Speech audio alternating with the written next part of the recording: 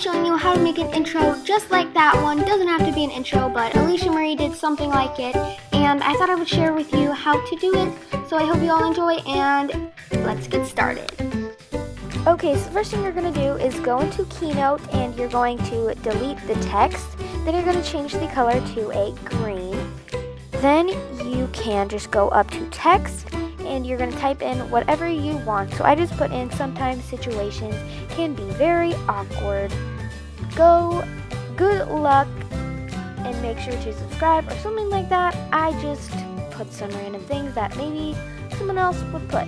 I don't know. Just I wanted to make it long enough, you know. So then I just changed the size of, I mean the font of it to um, Beauty and the Beast. I changed the text size to a little bit more, a little bigger. Then you go up and you press animate, then you press build or add an effect and you go down to typewriter. Then it'll show like super fast. I'm like, no girl. So I change it to about seven seconds, but whatever your liking is. And I just played around with it for a while.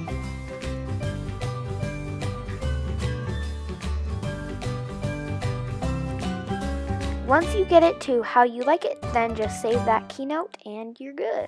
So I actually had to like screen record mine, but yeah, so I just adjusted mine here, found the, the thing that I liked, and I just cropped it a little bit since I screen recorded it, and that's why it's a little best messed up in the beginning. But then I looked up locker background because that is what I used for the school version, I guess, but you can use it really whatever color or anything that you would like. So I just picked out these blue lockers, I guess, and then I dragged dragged it down to next to the green screen and I just do that. Then I dragged the green screen over top of the locker picture then I just pressed fit so it wouldn't be Ken Burns, and then I made this the same length as the green screen.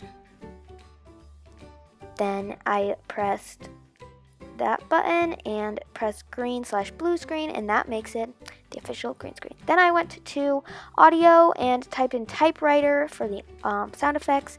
You will have to um, copy and paste it. It is not long enough. Then I type in school bell. If you're doing this the way I'm doing it, you're going to have to adjust the um, lockers to make it longer so you can fit the whole bell in there.